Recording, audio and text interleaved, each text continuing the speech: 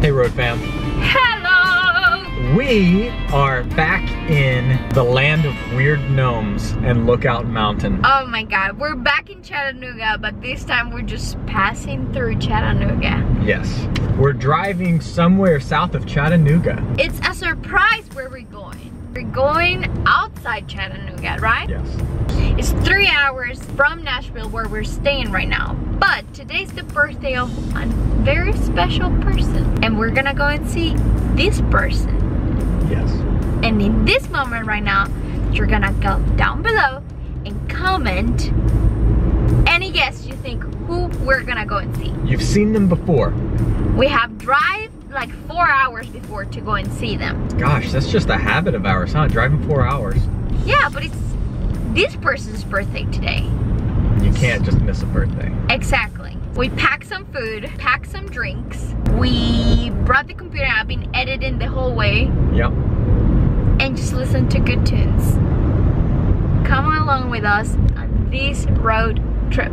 And we're actually just now about to get out of some traffic that slowed us down the last half hour, so that's good news. Chase is driving, so he's not stressed because I'm not driving. Let's go, friends. Let's get on the road.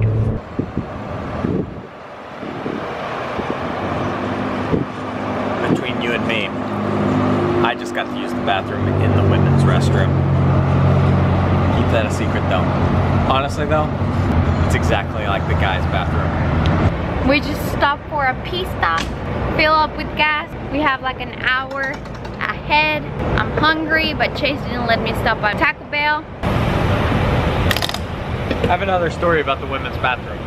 Oh my gosh. Let's keep going. Tell us about your story with the woman's bathroom. So when I was in middle school, we, um, you know, in school you never go outside of the locker room or the bathroom that you have, right? And the girls, I don't know how or why, but they all banded together and they made up this lie that the girls' locker room had sofas and vending machines and No all sorts of fun stuff. And we always wanted to go and see it. Never did.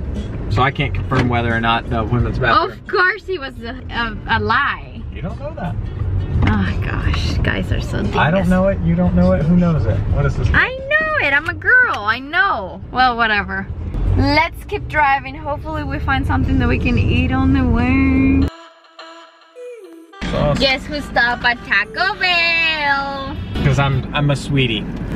I'm excited to try these. There's a little potato here. We're gonna give a review on the bottom of our receipt because they were so nice. So nice. First, uh, I think it's the first. No! They left the cheese on it. Just scrape it. I don't know. Well, let's eat before we get to the secret destination. People are driving crazy, so I'm gonna eat before we take off for Yeah. sure this time. Yeah. Normally I eat going down the road.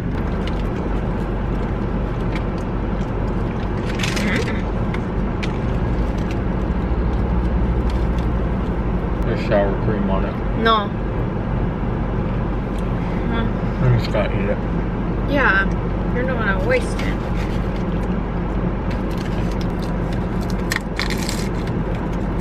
Let's hit the road, Jack. Sugary.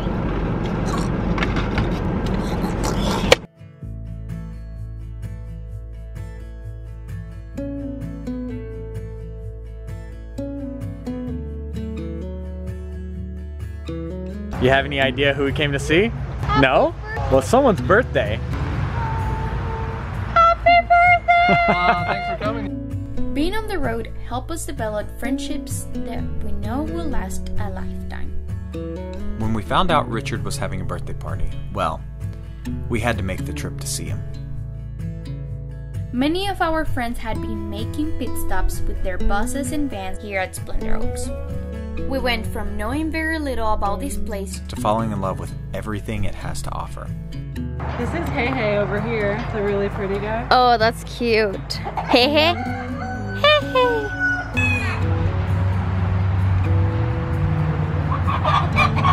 You got it! Look at this fuzzy face. That's so cute. Elizabeth, now you're like a, a farm girl. Farm girl. I think there might be some eggs right now. And the eggs are all different colors because of the different types of chickens. Uh-huh. Oh, wow. Yeah. And then sometimes there's really little eggs. This one's like hey hey. Hey hey will um the little ones that are that type will lay these eggs. Look at the pretty color, right? I heard that you don't have to wash them because in the factories they do so much stuff to them that you have to wash them or keep Uh-huh, them but here's like so fresh, yeah. Oh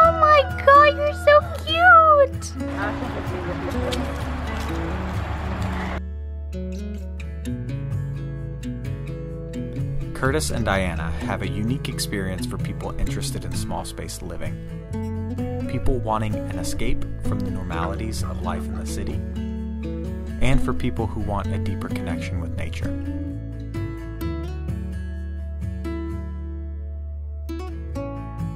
Ma! Oh, she's being. Oh, whatever. Ma! Would they attack me? No. Can I pet them? Ma! Oh my gosh! Hi. It goes like. They're so See how she's calling you? Yeah, she's like, hey, why are you stopping? You. Oh my god! I found my slice of heaven being surrounded by goats.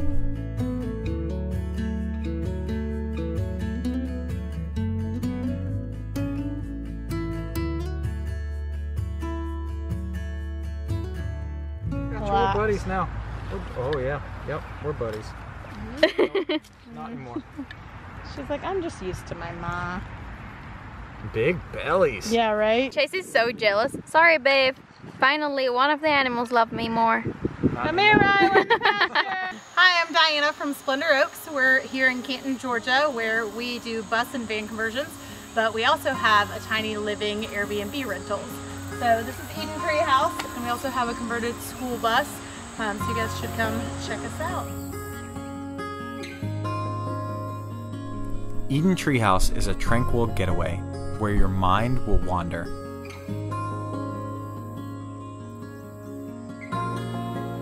The outside makes its way in through oversized glass windows. And you can relax your worries away while rocking back and forth in the hammock.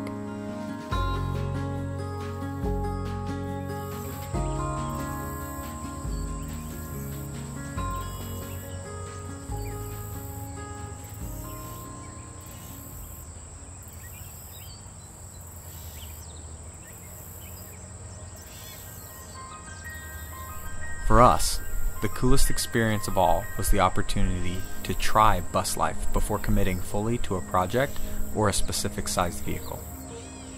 The Stay Bird bus is a full-size Bluebird TC2000 that is outfitted to sleep up to six people comfortably and truly allows a person to imagine their life on the road.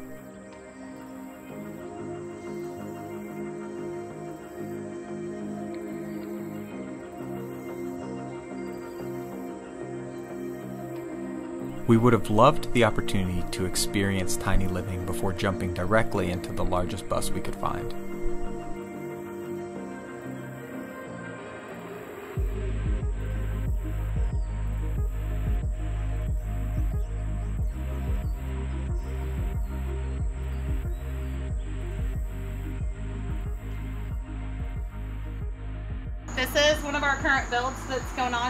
Actually have the option where you can farm out your full build and we can do the full conversion for you.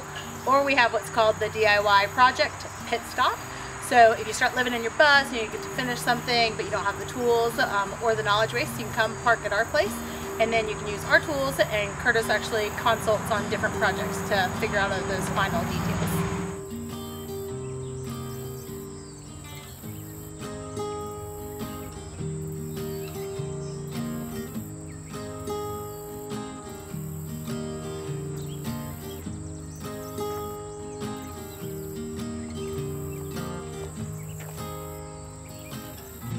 So these benches, they're we call them the Daydreamer benches, and they're from like the style is from my favorite park in Colombia. It's called the Barefoot Park and it's all about like grounding and stuff. And so you lay with one person puts their head here, and feet here, and one person here, here. So when you're laying down, you can have like a conversation like Oh, cute! Splendor Oaks is a living project, expanding constantly to offer more for the people who choose to stay a night or have a year. The area surrounding the talking benches will in time become a year round site for wedding venues. More treehouse tiny dwellings will be developed around the property to host large gatherings. And in the future, Kurtis and Dayana will even offer the opportunity to stay in a container home on site. We've showed you a little bit around Splendor Oaks. There's a lot here. A lot for people who are considering going small, a lot for people who need some help going small, and for people who are somewhere in between on their builds or whatever it may be.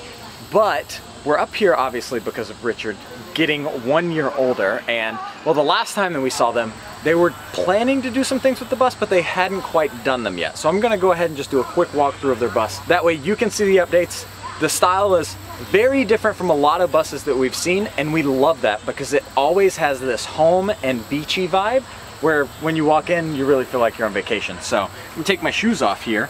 Let's get to it.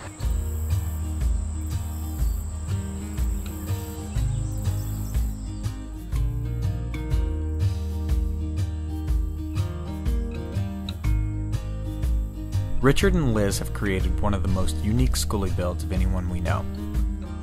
Having met while working on a cruise ship years ago, they've brought some of the fun, The beach and the good vibes all into the bill while allowing their personalities to show in all of the details.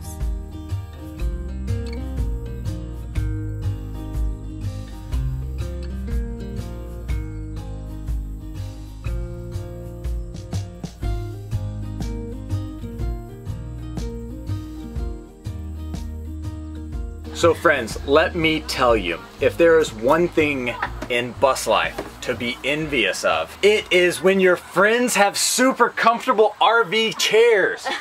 These things are literally like the most cushy, comfortable, swivel reclining chairs that you would get in like a half a million dollar rig. And they eat on them not on them, but they eat while sitting in them at this beautiful table. I'm envious. Can you see it? I'm currently green with envy. Question. Yeah. Have you tried the bus? Yes, I. So we have uh, cruise control, and sometimes he'll turn on cruise control if we're in. Well, this was in New Mexico, and he just like had it. We were on the highway, and he just got out, and then I just got in, and I was just like hoping for the best. And I mean, it's fine. I don't mind the air brakes, but I'm still getting used to them. Yeah. Yeah, and Same. Richard used to be a, a bus driver, so he took off some of the mirrors, and I need them. So I'm like, uh, I drove the bus two times. Well, once in Arkansas and once in San Diego. Once in Arkansas. Oh, once in Arkansas. The one in San Diego, I did drive like the whole island. Yeah, right? you drove like three miles in it. hey, awesome! How did you like it? I wasn't stressed. I did pretty good, no? Yeah, you did great. you were stressed didn't at first. me. Yeah, I recorded you. but we didn't put it anywhere. No, but we can. Here's the footage from Rose driving in San Diego. That's probably a good speed.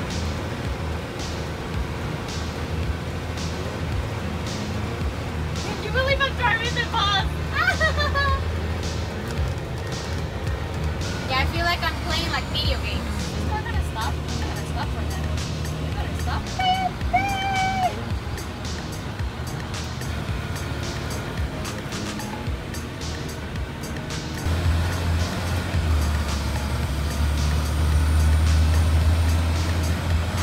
I feel like I haven't talked at all today, but I've been having so much fun. You know how much I love animals. So as soon as I saw there there was a bunch of chickens and goats and that pig, ah, I just wanted to go and pet them and play with them and just talking and enjoy ourselves with friends. But I wanted to show you a very very cool area they have here in Splendor Oaks.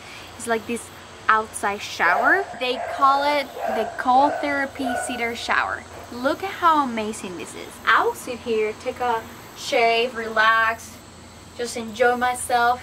It's so nice. Every single part of the place that you look is just like, oh, I want to spend a week in here.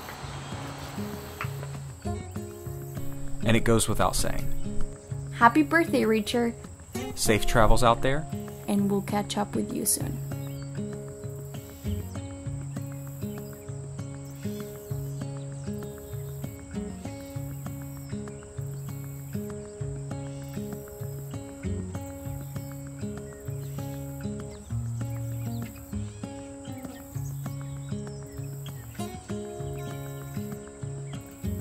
Friends, we have had a spectacular day at Splendor Oaks. We're really kind of sad to have to go. Rich is about to take some swings at the pinata and then we have absolutely got to get back on the road and head north. However, we don't believe this is gonna be the last time that we're gonna be here at Splendor Oaks. I'm certain we'll, we'll be back. We've had a blast here. They have an amazing area for really any type of activity, whether you want the experience of tiny home living, if you want this this relationship with nature that, you know, a house in the city just isn't gonna have. Or if you want to see some really cool bus builds taking place or experience what it's like to live in a bus because they do have a bus on site. That's Rich and Liz's. I don't know why I pointed it at, but they have the Staybird, which is a really cool, full-size Bluebird All-American. It's been a blast. We're gonna do a few more things here, but then we've gotta hit the road. Whoa! There you go. Go! Go! Go! Heard it. Go! Go! Don't hurt anybody with the stick, babe. No. Happy birthday to you. Happy birthday to you. Happy birthday, dear Rich. Happy birthday to you. And many more.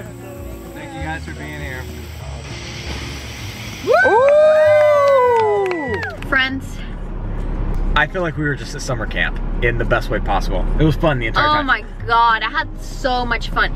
Truly guys, if you want to check out Tiny Living, if you're interested in a bus, just come to Splendor Oaks. All the things I said just a second ago, you gotta be here. It's it's a whole experience. We had so much fun and everybody was so nice. If you love animals, you need to Oh, come. animals galore in the best way possible. If you like goats, you like a pig, you like chickens.